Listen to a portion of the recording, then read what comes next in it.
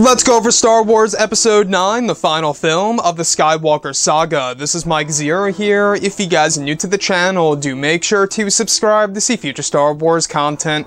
Now, as you all know, Episode 9 is serving as the final installment of the Skywalker saga as a whole, and the sequel trilogy alike as well.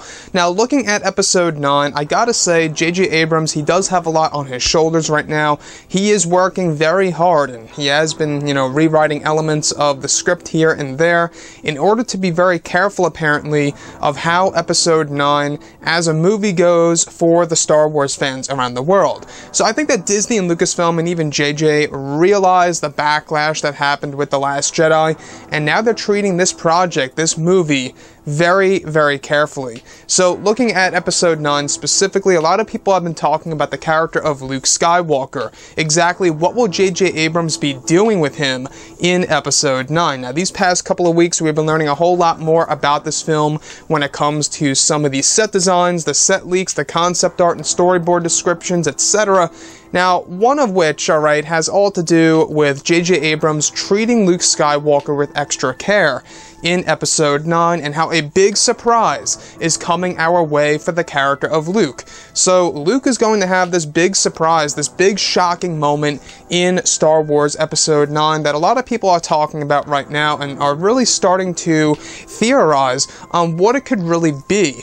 Now, this is the thing here. It seems as though that Disney and Lucasfilm, they're trying to gain interest for this movie. That's how some people are viewing it, is that they created this element in the overall story that has to do with Luke Skywalker in order to gain some interest for the overall episode 9 plot.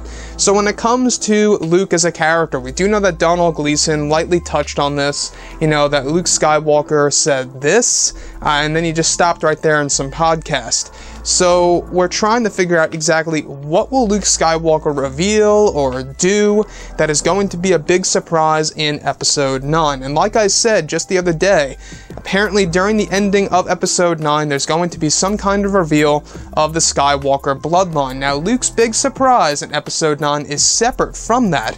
There's going to be this shocking moment, this big scene for the character of Luke and you know Mark Hamill's going to do a lot of shooting uh, this upcoming November November between both Adam Driver and Daisy Ridley over at Pinewood. Uh, one of the sets are designed for just Adam and Mark, and the other set is also designed just for Daisy and Mark. And then there's a third set that's all for the three actors, alright? You have Daisy, Mark, and Adam all dedicated to one set for episode 9. And this is raising a lot of questions, right? Exactly why would a Force Ghost version of Luke, or whatever Luke's gonna be in Episode 9, appear in both appear in front of both a light side user and a dark side user, something that we personally have never seen before on the big screen.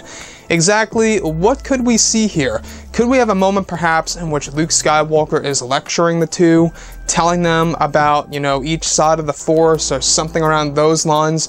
I don't know which way J.J. Abrams is going to take the character of Luke, but we do know one thing and one thing only, is that a big surprise is coming our way for the character of Luke, and it is something to be truly excited for, as long as it's executed well on screen.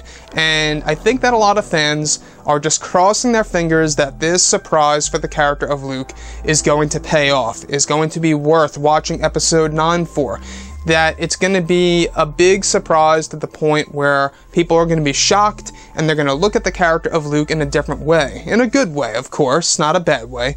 Uh, I will say that I was very disappointed with how Luke Skywalker was treated in The Last Jedi, and if J.J. Abrams can somehow make that up in the final installment of the Skywalker saga, I think I could definitely view this trilogy as, you know, a better trilogy than what it is right now. Now, J.J. Abrams, I gotta say, he's gotta take extra care with Luke, in which he is doing. He has been doing some rewrites here and there for Mark Hamill's character, you know, on and off throughout the script. So some changes, some adjustments have been made to the overall script of episode 9. You can tell that Disney and Lucasfilm are really walking on eggshells, it seems, when it comes to this movie and how the fans may react to episode 9. I don't know about you guys, but I view Episode 9 as a make or break situation for the future of Star Wars as a whole. Uh, maybe not for the casual fans, but for the hard, for, for, but for the hardcore fans, absolutely.